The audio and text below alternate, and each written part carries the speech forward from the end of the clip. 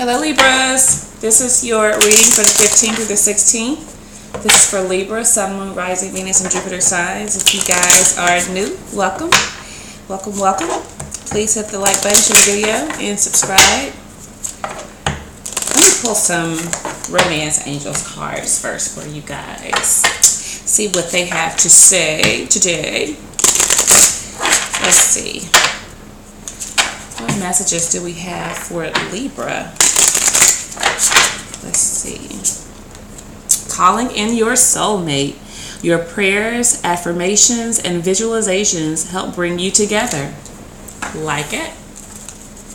What else do we have for Libra? Hmm. True love. This is the romance of a lifetime. Beautiful. Hmm. Oh, okay. Engagement. Your love life is ascending to a higher level of commitment. I feel like some of you guys are definitely on a path to meeting uh, the one, honestly.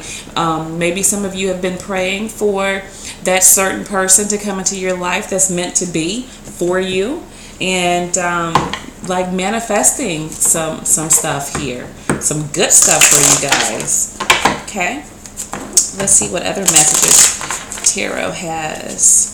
Mm, the empress. Oh yeah. You know the way you guys are growing and opening yourselves up um, you know doing new things being the initiator just creating you're opening up a gateway for yourself here okay? Um, feeling confident feeling beautiful inside and out finances are together. I feel like every aspect of your life is like coming together right now. And the only thing you guys feel like is not, um, you know, the way that you want it to be is possibly your love life. And I feel that that is about to change here, okay? Because there is definitely new love on the horizon for you guys, being that you are starting to really kind of love yourselves and pamper yourselves here, you are opening yourself up to, um, I feel like, a great love here. Then you have the Ace of Swords. Oh yeah, there's some things that you guys are realizing that is that's bringing you joy and happiness right now. Okay, the way you're thinking, the way you're feeling, the way you're maneuvering. Um, it, it's, it's really going to bring you some, some, some good things into your life, okay? Something you guys are learning as well about someone, I feel. Maybe there's a newfound um, attraction to someone or or some information that you guys are now privy to that you didn't necessarily you know you didn't have before is what i'm getting here there's something that you guys are learning about an individual maybe an earth sign um, Taurus, Virgo, Capricorn individual. Doesn't have to be, but I'm getting that there's somebody that you guys feel like you know something about, or there's something that you know about, or you're learning right now. Okay? Hmm. Hmm. I feel like this is you um, definitely moving, shifting stuff, moving stuff out of your out of your way, like moving things out of your life, thoughts, um, people, anything that you feel like does not serve your higher good. It's like you're you're moving it out of your way. Okay? And getting out of your own way is what I feel you guys are doing. It seems like I've told you guys before in a different reading that you have to kind of you know, get out of your own way. Don't block yourself from what it is that you truly deserve. And I feel you guys are definitely doing that, okay? Let's see. King of Swords is there. I feel like there's a strong air energy, probably Capricorn um, as well, but um, Aquarius energy that that loves you guys. This person loves you guys, whoever this is. And I, I'm feeling like this person may, you know, they're coming here as a King of Swords in the fact that they are in control of their emotions. They come across um, like they, you know, are not really fazed by things or, or what have you.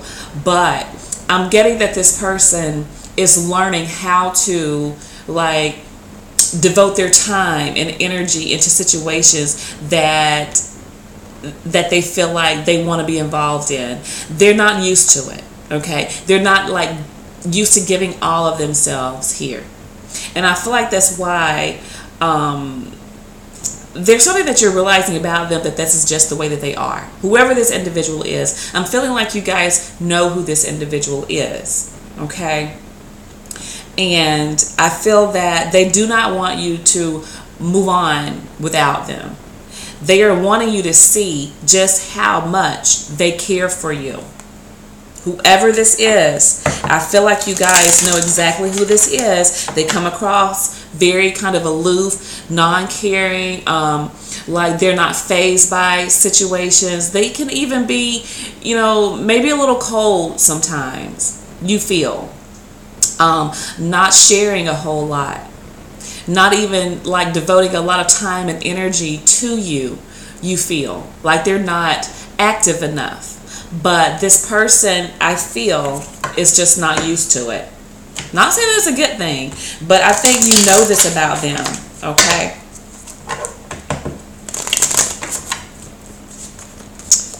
The King of Pentacles. Definitely, I feel that they want to, this person wants to spend some time with you. This person wants to be committed to you. They want to. Capricorn, Aquarius individual here. And I feel like this person really wants to take care of you and they want to speak some truth to you. They want to tell you exactly how they feel about you guys. Could be two people here, but I'm feeling strongly this is the same person.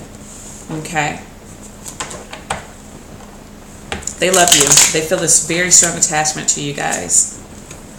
Now you have three aces. Something brand spanking new is happening for you. There is a potential for a very stable connection between you and this individual.